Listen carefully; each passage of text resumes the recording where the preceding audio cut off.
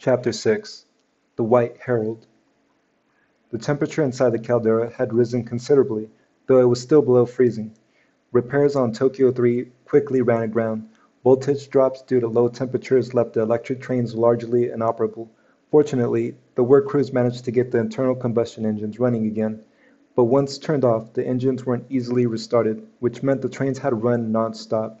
Construction noise might have been a nuisance, but the snow absorbed much of the sound.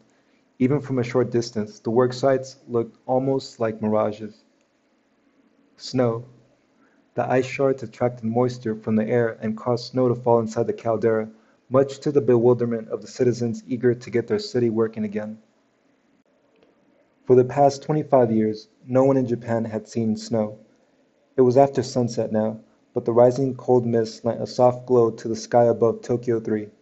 From the perspective of the patrolling drones, which managed to stay in flight despite the flurries accumulating on their frames, the Hakone caldera looked just like a snow globe.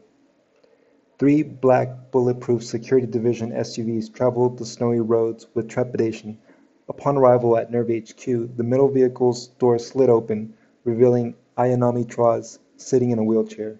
She didn't yet know that Ayanami Quattro, or in a sense, she herself, had attacked Shinji and vanished and she didn't understand why her hands and feet had been placed in restraints.